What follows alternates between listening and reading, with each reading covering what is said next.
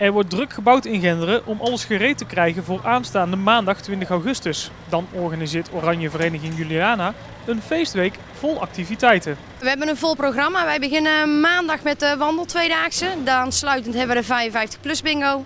Dinsdag hebben wij de kinderdisco en draaien we daarna door voor de jeugd. Op woensdagmiddag hebben wij voor de schoolkinderen vanaf 12 uur wat te eten. En daarna gaan ze vissen en instrumenten maken. S'avonds hebben wij een hardloopronde en daarna hebben wij een modeshow. Uh, donderdag hebben wij uh, ons Schenders buffet. En daarna hebben wij de laatste avond van de dorpsquiz. En hopelijk uh, hebben we dan een hele gezellige avond met elkaar. Dat is echt een, een dorpsavond. En een vrijdagavond hebben wij bandavond met 100% katoen en Missing One. En op zaterdag beginnen wij met de kofferbakverkoop. Hebben wij volleybal, hebben wij een toerrit voor de oldtimers.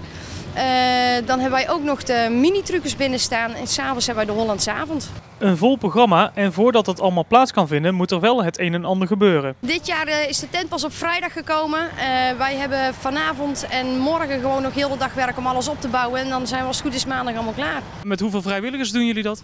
iedereen is welkom. Er is eigenlijk een vaste kern met vrijwilligers die ons eigenlijk altijd bijstaat, maar alle hulp is welkom.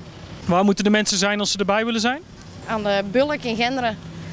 Kunnen ze ook nog ergens iets terugvinden op internet? Op onze website is iets te zien. Er is alle informatie te vinden op Facebookpagina. www.oranjeverenigingjuliana.nl En onze Facebookpagina is Oranje Vereniging Juliana Genderen.